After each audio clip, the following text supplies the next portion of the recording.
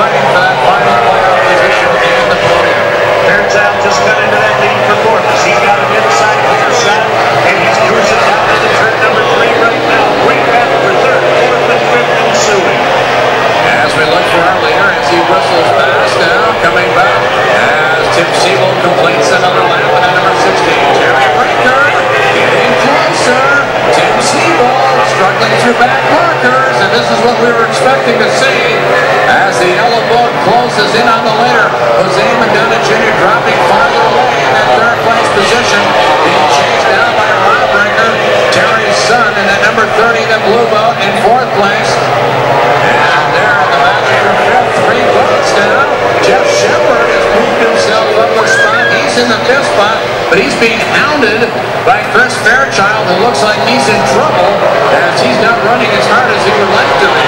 And Mark Major right there nipping at his heels for that sixth spot. Our race leader crossing the start-finish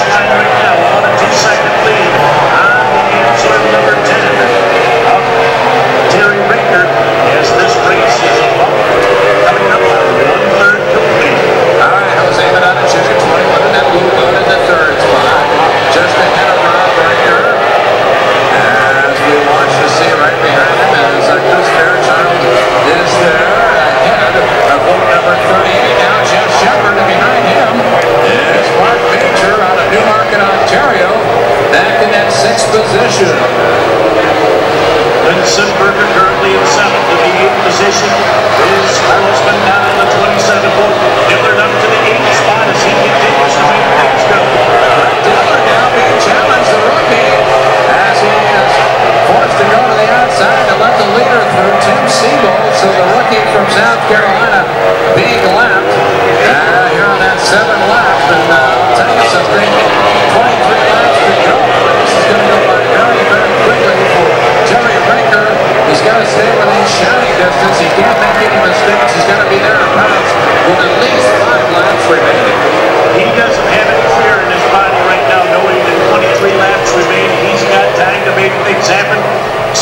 trying to inch his way right now. Seymour with some back marker traffic.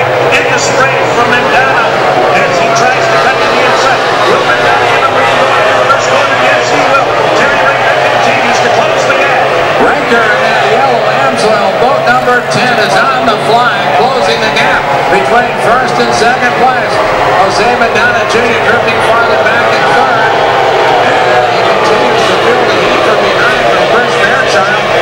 in the fourth spot, the driver out of Paw Paw, Illinois. And in fifth, Jeff Shepard out of Tennessee. And then now in sixth spot, Mark Major from uh, Ontario. Coming around turn number six right now, our race leader, NGK, 16 boat black and red. Up Timmy Seebold, Canadians in the yellow and soil right behind. Those two all by themselves in the first four position. Yeah, right now Rinker's got the advantage because he's fighting through traffic, so he can say, if he makes a bobble, I can go the other direction, and he can get an indicator of how easy it is to pass traffic. Now, the difference between first and second and third, Jose Medina Jr. back in that third place position, is almost at a lap now between second and third position. Those two in the class of the field, at least this afternoon, making things happen. Still tightly contested for third, fourth, and fifth place. But our race leader, Timmy Seebold, continues on a solid run here as we reach the one-third mark of this race. All right, nine laps in the record books as we continue through on this 30-lap event.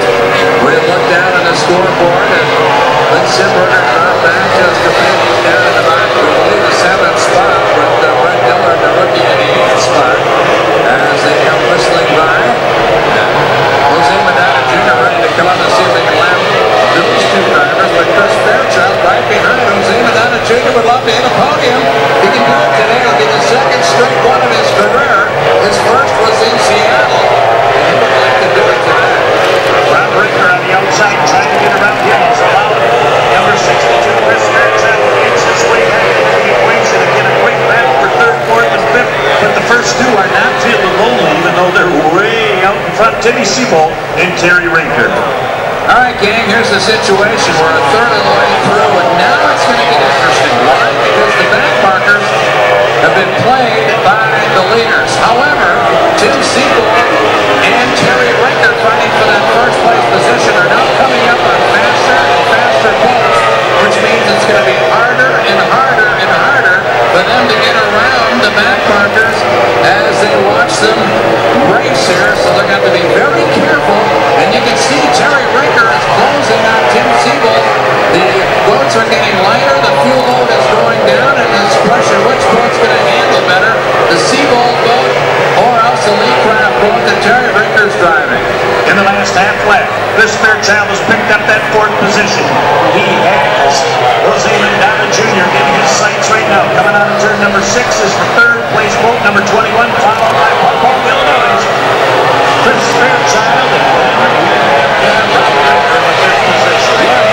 Chris Fairchild uh, didn't have a very good lap two and three. It looks like he was losing the grip of a fast-paced boat, but then all of a sudden he redialed himself up, took himself up another notch, and here he goes as we watch our leader, Tim Seebold, side by side as he tries to lap. He will lead the sixth place boat, which is uh, Mark Major at boat number 17 with Rinker right behind. Now this will be telling as these two work their way through, and it looks like both of them pretty well have made their way around the gamut here. Now Seebold got around Mark Major, and now it's up to Terry Rinker to see if he can get around the Canadian as they fight their way through into the right-hander. Chris Fairchild has passed Medina Jr. and is now in third place as he's really got that boat leveled off and he is making some progress. He's got a long way to go to even stay on the lead lap. All right, Terry Rinker having a tough time getting around the Canadian in that white boat number 17, giving Seebold a break as he was able to make good his escape for about two or three boat lengths. And now, finally, the Syracuse, Indiana driver who makes his home in Tampa, Florida, finally got past Mark Major in a boat that he's just driving and addressing for the very first time in his racing career. He's hanging in there in the top five and six, but in the meantime, Tim Seebold is starting to uh, put a little bit more distance on Terry Rinker.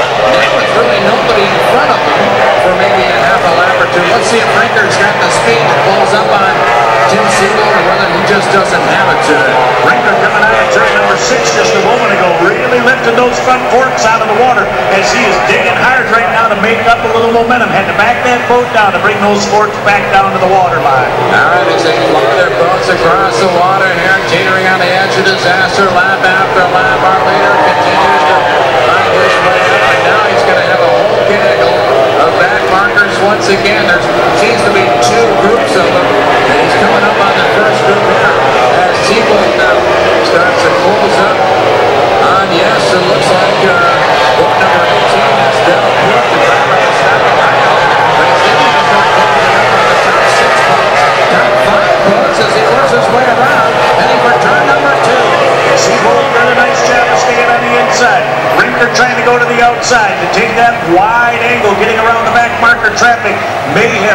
just a little bit, but that lead looks like it's back down to about 12 boat lengths. And they work their way over in the far western side of Stone Seebold now with Terry Rinker. Nothing's changed. Rinker's trying to reel him in, hoping that Tim Seebold makes a mistake. And look at the traffic in front of him as they go into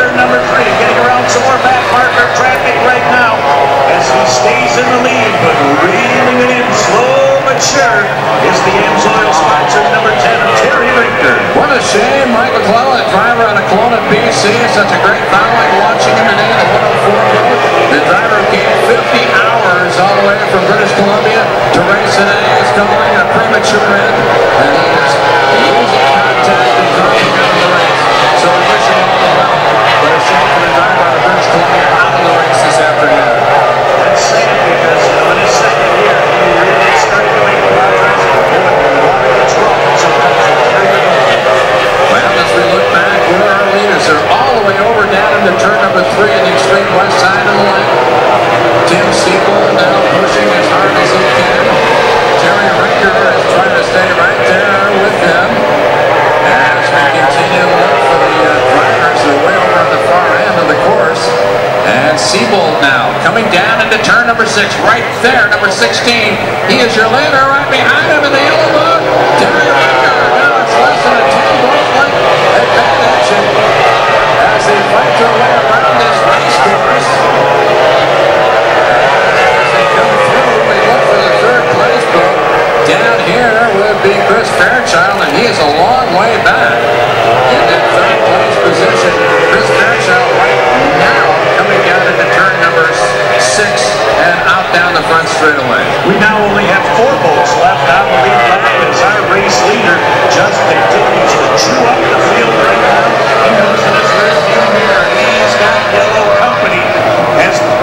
like a nice job by Tim Seebold as he's lengthened his lead for the moment just a little bit on Rinker as we're nearing lap number 20. Past the halfway point here in this race. Lap 20 out of 30, so 10 laps remaining. 10 more tours around this one-mile race course to determine the third annual Maple City Grand Prix winner. And right now, Tim Seebold is where he was a year ago, out in first place, being hounded by Terry Rinker in that Amsoil boat number 10. Rinker, the three-time looking to be a three-time champion here. He's a four-time defending champion on this tour. Seebold, who has won this championship multiple times, hasn't won in the last four years. He's itching to get back on the top row. He needs love to beat right here and stop this winning streak. You, coming turn number six, picks those front forks up, gets a lot of so just bring it down for a second. So Jimmy Seebold is looking like turn number six, the faster those two boats at that spot on the course. Terry Rinker, Mr. Lightning, is getting a situation where he's faster in a straight line than that Seebold built boat. But that Seebold boat can turn corners quicker. And it's up to Terry Rinker, who's been doing an almond's job of trying to refine that uh,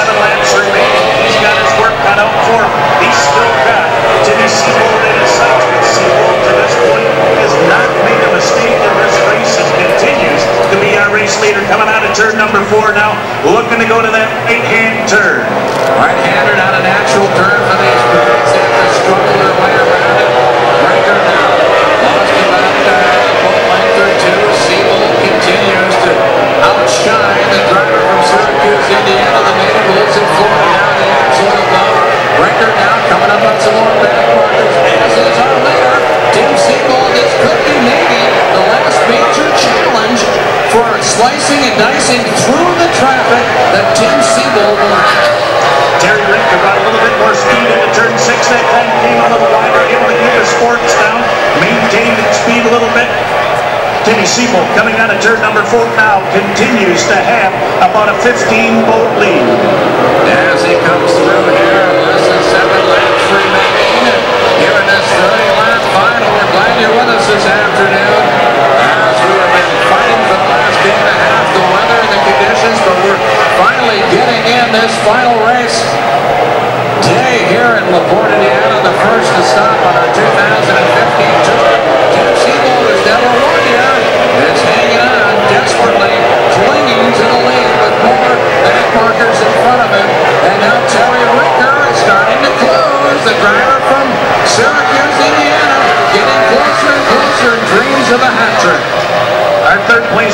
stop crossing.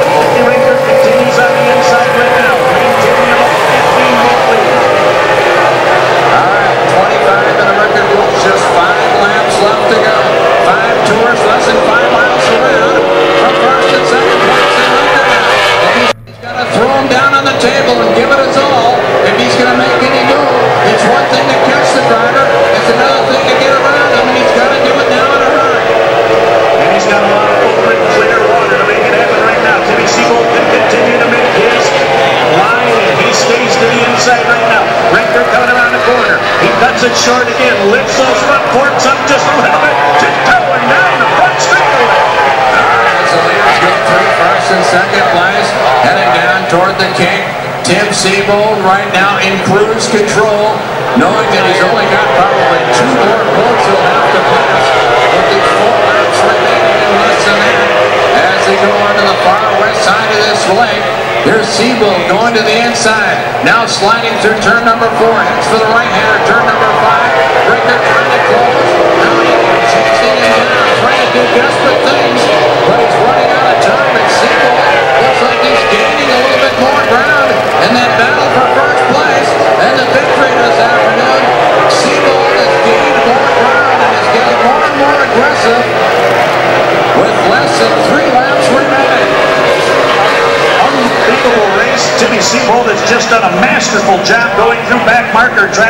And with about two and a half laps remaining, looks like he's actually.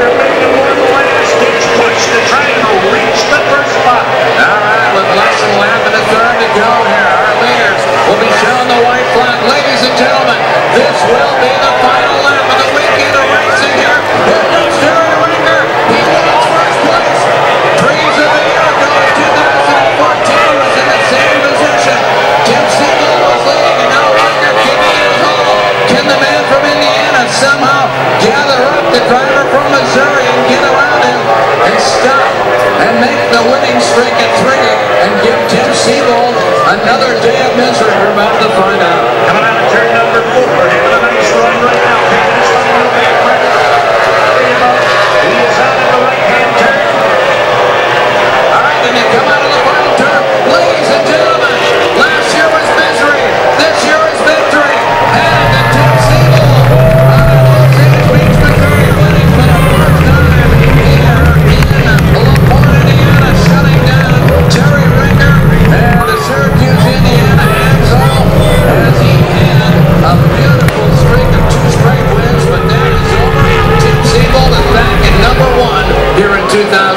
Coast-to-coast victory, impressive done, especially the fact that there's over 20 boats on the water right now. Constant back marker traffic going through this course.